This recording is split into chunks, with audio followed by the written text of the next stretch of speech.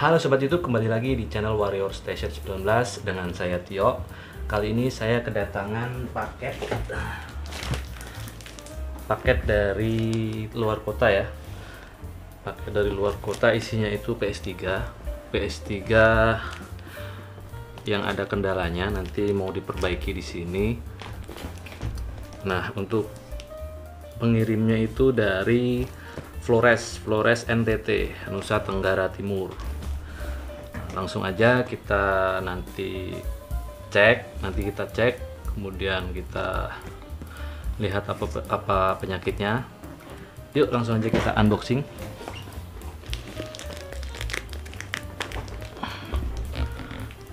Nah ini ya. Maaf nama dan nomor teleponnya saya sensor. Langsung aja kita buka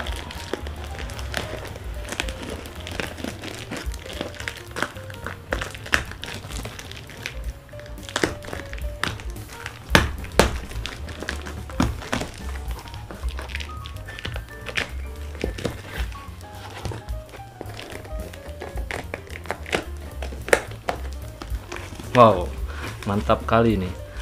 Ini ada selimut apa? Oh, bantal. Ada bantalnya nih. Dapat bonus bantal lumayan ini.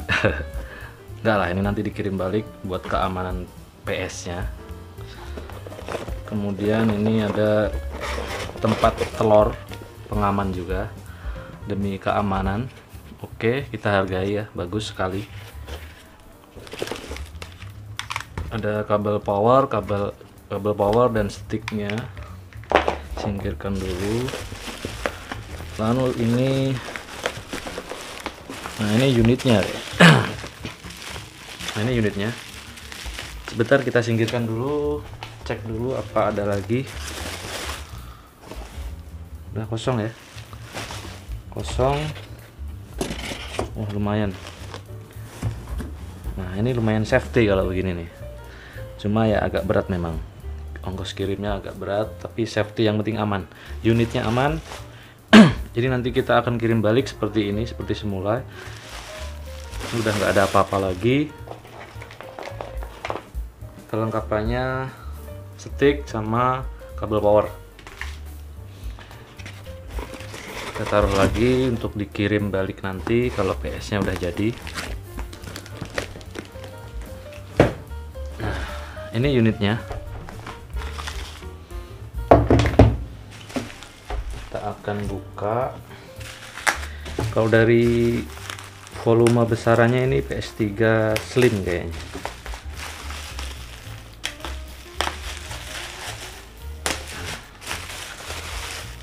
Ya udah kelihatan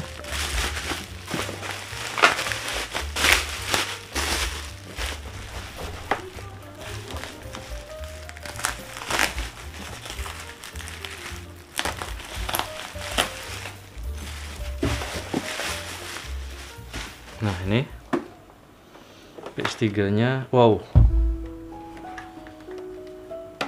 Ada pecah di sini. Ini ada pecah ya di sini. Nggak tahu ini pecah pengiriman pecah dari ekspedisi atau pecah memang dari awalnya sudah sudah pecah. Nah di sini ada pecah ya.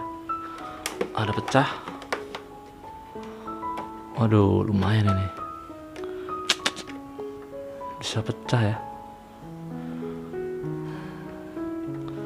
Apa ada lagi selain ini?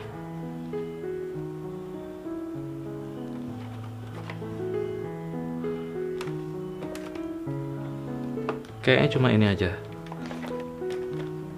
Pecah di sini nih pojokan. Saya sering kalau ada paket kiriman paket gitu kirim baik keluar maupun masuk sering kendala di sini kalahnya di sini. Ah ini ini kedorong ini. Dari ini kedorong dari sini masuk ke sini kedorong. Nah ini akhirnya kebuka di sini. Nah kelihatan nggak nih? Di sini ada kebuka. Nih. Udah mangap begini ya kebuka dia oke deh langsung aja kita uh, saya akan langsung tes nanti ke meja servis. Nah ini PS nya PS nya akan segera kita tes. Kabel power dan kabel HDMI sudah tercolok. Coba dinyalain. Nah PS nya bisa hijau ya. Lampu resetnya masih bisa hijau. Lalu kita coba lihat di monitor di TV Oke bisa booting ya bisa berhasil ke menu. Jadi PS ini masih bisa hidup masih bisa menampilkan gambar. Lalu kemudian coba saya akan cari kabel USB untuk menyolokkan stick ya. Kita coba konekin sticknya nah, kabel USB nya udah sekarang coba colokin sticknya apa masih bisa connect? Bisa ngecas ya.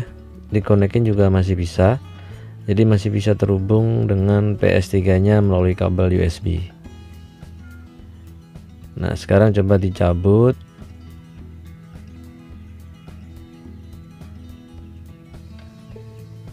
Nah ini nggak bisa connect ya. Jadi ketika kabel USB dicopot dia tidak bisa connect jadi sticknya nggak bisa connect tanpa kabel. Jadi ada kemungkinan di bagian bluetooth PS nya bermasalah ya. Coba colokin pakai kabel lagi. Apa masih bisa connect kah? Sorry agak susah ini karena satu tangan ya satunya pegang kamera. Sticknya ini normal ya stick PS3 ini normal. Jadi kalau memang nggak bisa connect berarti ada masalah bluetooth di PS ya. Nah dicolokin masih bisa connect lagi pakai kabel ya tapi pakai kabel. Jadi sticknya kalau dicolokin pakai kabel masih bisa tapi kalau dicabut nah kayak gini. Dia nggak bisa connect. Tidak bisa connect tanpa kabel. Oke ini adalah mainboardnya ya motherboard PS3 yang tadi. Kita coba lihat di sini IC Bluetooth atau modul wireless modul Bluetoothnya udah pernah ganti mungkin ini ya. Di sini ada bekas fluk tipis di sisi-sisinya. Dan ada bekas servis uh, tantalum di situ. Langsung aja kita eksekusi. Eh, pada bagian video ini adalah uh, proses pengangkatan IC Bluetooth atau proses pencabutan IC Bluetooth atau modul wireless PS3 Slim tadi menggunakan BGRI Workstation.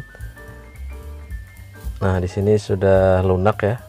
Untuk bola timahnya sudah lunak dan sudah bisa diangkat Bluetoothnya. Oke. Oke, IC Bluetooth sudah berhasil terangkat uh, sembari nunggu adem jadi masih panas ya mainboardnya.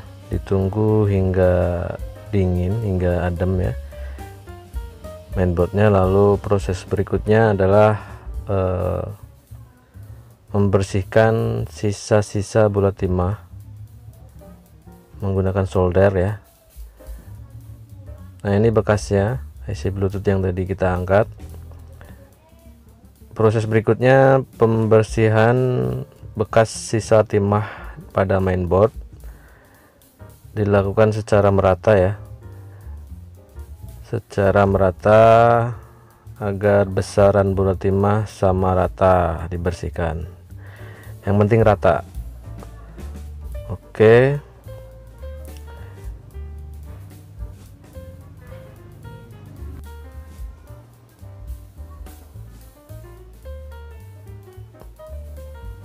jadi untuk pengiriman PS3 uh, eh, dari luar kota yang memang benar-benar jauh itu saran saya untuk bagian tombol reset pokoknya bagian-bagian pojok yang sensitif terkena benturan alangkah lebih baiknya dikasih uh, pelindung lebih ya pelindung yang lebih tebal dibandingkan dengan yang bukan pojokan bukan yang sensitif. Jadi sekitar pojok-pojokan seperti seperti PS3 ini pada bagian tombol reset itu penyok ya akibat benturan itu biasanya tekanan lah.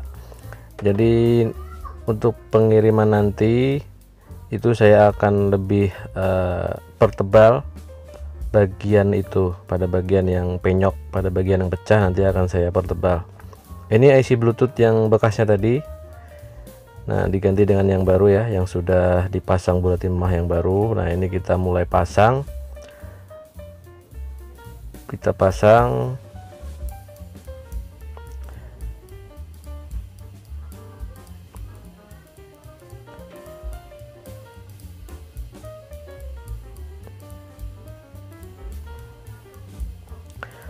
Oke teman-teman kita ikuti proses videonya hingga selesai ya